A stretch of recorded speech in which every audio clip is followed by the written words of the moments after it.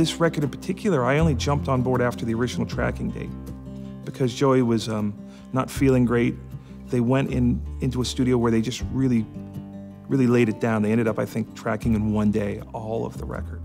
That's when I stepped in. Rory called me and asked me if I could um, help him finish the record because, you know, as you could understand, they had a bunch of personal things, although this was really important to Joey, so it was really important to Rory.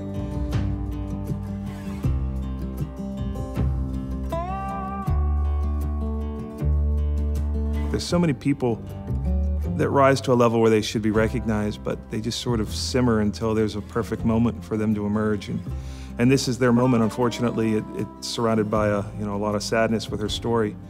But um, they've always been good enough. They've been great, and they've been very popular in in country music, and everyone does know them. But now people on a global level are getting to know them and hear about their story. So yes, I'm honored to be a part of it. I'm not surprised, but you're always surprised when something actually breaks through, and it appears as though this is breaking through and, and touching a lot of people.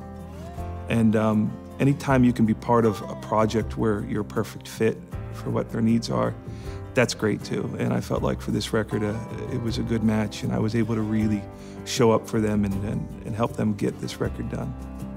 Well, this record in particular, I had worked on a record two years earlier with them that was also an inspirational record. We recorded it here at the barn.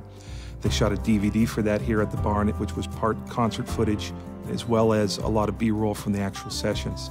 So it was great to do this record with them again because we had kind of been in this mode where we had done it before. But their focus and priority was being with each other and, and sort of cherishing the time that they had. So I sort of hunkered down um, and just made hay. So digging into the, the, tracks that were there, as well as went up to Indiana where she's um, where she's staying with her family, and recorded some background vocals up there at the Gaither studio, which was which was great. Just kept bringing, just collecting media, and then just sort of sifting through it, finding the best versions of everything, and then of course you know um, having to build that final mix from what it is that you have there, because you know all the parts are there. You just have to find them. Some of them you're worried aren't there because there's that, you always have the opportunity to call someone back in if there's a problem. But on this record, we didn't have that. She's always had a voice that's been a classic voice. It was one of those voices that when you heard it, it felt like the voice of a decade or a generation, or you'd hear it 100 years later and you'd just recognize it, you know? And it was my job on this record to make sure that that voice stayed, like, I almost would have accepted the record sounding bad as long as the vocals sounded great. And, and she's never failed in that respect. She's always delivered. And even, you know, through how difficult it must have been for her to deliver in this instance, you know, we still had golden vocals. We ended up in a situation where we had, um, where you have magic. And you can't always predict magic. And I'm glad that it was magic for them. It was the perfect time for them to have magic. And um, I was sort of the purveyor or the overseer to make sure that that didn't get diluted or didn't become something else along the line. Uh, and I took it really seriously because I love them, and this is what I could do for them.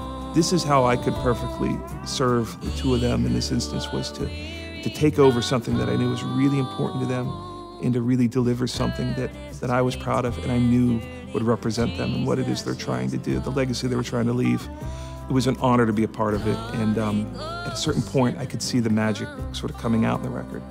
And as a producer, once you recognize that, you just do what you can to, to make sure that you don't mess with it and you don't lose it. You don't overanalyze it. And I think we did that. This record's a, it's a special record. I'm excited to be a part of it. It's the kind of thing where it could go on and become bigger than itself. It's got all the right attributes. We'll see.